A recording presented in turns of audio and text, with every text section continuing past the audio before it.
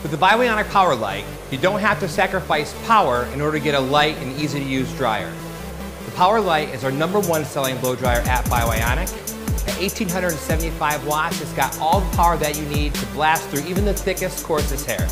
The nano conditioning beads inside the dryer emit natural negative ions and allow your hair to seal the moisture inside while speeding up the blow dry process.